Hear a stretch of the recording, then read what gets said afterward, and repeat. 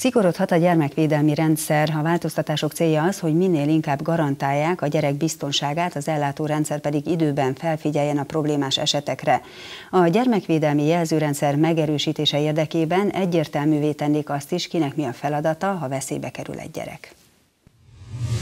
Szűrővizsgálat, találkozás a védőnővel, meghatározott időközönként minden gyermekkel kapcsolatban van az alapellátás és nyomon követik a gyerek fejlődését. A védőnők ismerik a család nem csak egészségügyi, hanem szociális állapotát és helyzetét is. Az új gyermekvédelmi törvényjavaslat többek között gyakoribbá tenné a szűrővizsgálatokat is, hogy ne csak az újszülöttek és a kisgyerekek, valamint a tanköteles korúak jelenjenek meg az ellátórendszer látóterében. A módosítás szerint az egyes betegségek megelőzését és korai felismerését szolgáló egészségügyi szűrővizsgálatok 18 éves korig kötelezők lennének, arról pedig, hogy azon a gyermek megjelenjen, a törvényes képviselőnek kell gondoskodnia. Ha e kötelezettségének nem tesz eleget, az egészségügyi államigazgatási szerv határozattal rendelheti el a szűrővizsgálatot, és erről tájékoztatják a család és gyermekjóléti központot, valamint a gyámhatóságot is. A szociális ágazatban a gyermekvédelmi feladatok és a családsegítés átalakítása már ez év elején elkezdődött. Ennek részeként a gyermekvédelmi szolgálatokat és a családsegítő központokat összevonták, a gyermekvédelemben pedig esetmenedzserek kezdtek el dolgozni.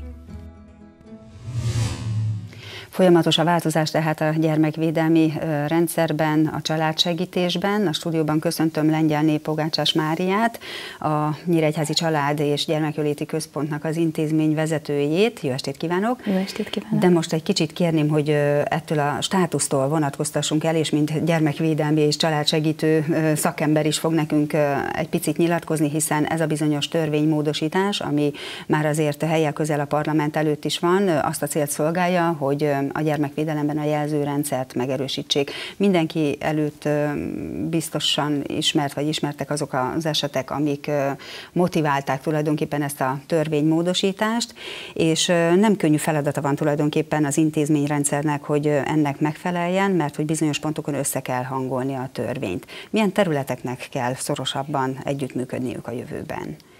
Igen, én azt gondolom, hogy ez egy nagyon kényes terület, mert hogyha gyerekekről van szó, akkor elég egyetlen egy eset, egy gyerek éheztetés, egy gyerek bántalmazás, és akkor nyilván rögtön összeugranak a szakemberek, hogy mi az, amit nem tettünk jól, hol van az a hézag a jelzőrendszerben, ahol mégiscsak kicsusszant az a gyerek, akire nem figyeltünk oda időben. Én azt gondolom, hogy egyébként a jelzőrendszer a hétköznapokban, én merem azt mondani, hogy jól működik és gyorsan működik.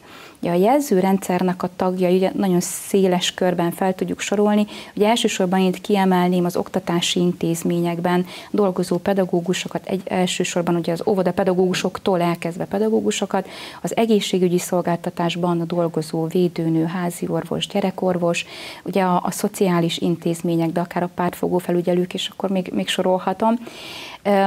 Tehát, hogy az a feladatunk, hogy abban a pillanatban, amikor azt az apró jelet meglátjuk, hogy itt valami nem stimmel a gyerek körül, akkor rögtön a felelősséget fölvállalva, és ezt talán még a későbbiekben fogunk róla beszélni, a felelősséget fölvállalva egyből jelzéssel kell élni felénk gyámhivatal felé, mert ahol már alapellátás keretében nem tudjuk gondozni, ott már a hatóságnak be kell lépnie.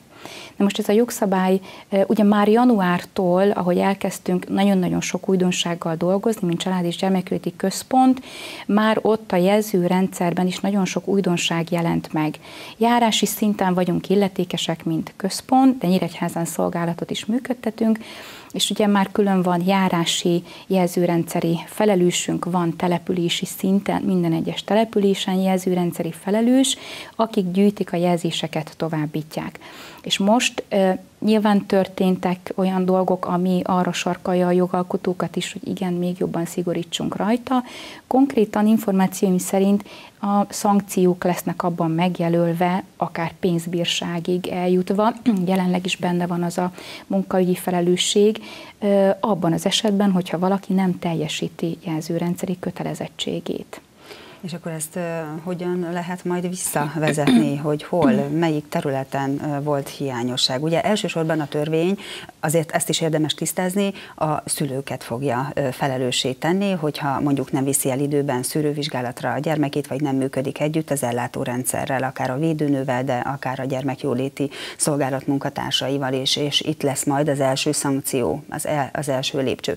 De hol lehet majd azt felkutatni, vagy megtalálni, hogy a hálózaton belül hol volt hiányosság esetleg? Igen, ez egy nagyon jó kérdés, hiszen a szülő felelőssége az egyértelmű, hogy, hogy az elsősorban azt kell megnézni, és hogyha, hogyha a szülő nem tudja biztosítani azokat a körülményeket, amivel a gyerek testi, szellemi, értelmi, érzelmi fejlődése maximálisan biztosított, akkor jönnek a szakemberek.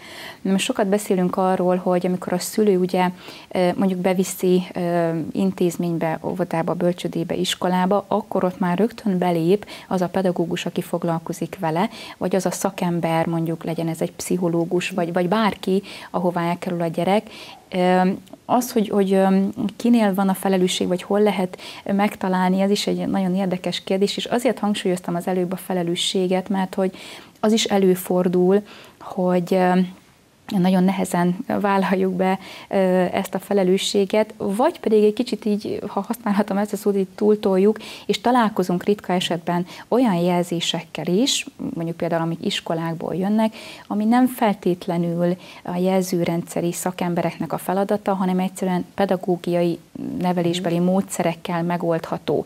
Tehát ilyen nagyon-nagyon kényes ez az egyensúly, hogy hol van az a pont, ahol még iskolán, óvodán, bölcsődében védőnő megteheti az ő kompetencia határain belül, és akkor onnantól kezdve nyilván azért volt egy olyan eset, ahol, ahol az is szóba jött, hogy ha nem kerül el szakemberekhez is, ha burkoltan a családon belül él a gyerek, akkor azért mégiscsak rájuk kell nyitni valahogyan az ajtót. Lehet az a szomszéd is, aki jelzéssel élhet, illetve azért vannak kötelező dolgok, kötelező oltások, egészségügyi intézményben való megjelenések, és itt kell nagyon szemfülesnek lenni, és igenis fölvállalva azt a felelősséget, hogy ezt a jelzést én most megteszem, egyenesen a hatósághoz, gyámhivatalhoz lehet fordulni. De meg lesz a joga a szakembernek meg erre. így van.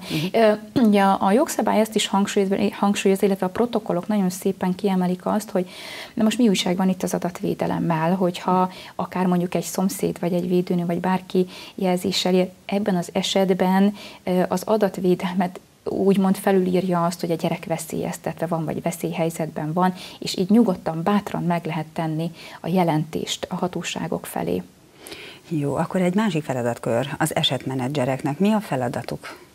Az esetmenedzserek a központban, tehát a Nyíregyházi Család és Gyermekjóti Központban, illetve az ország valamennyi központ, így van, így van, járási szintű feladatokat látnak el.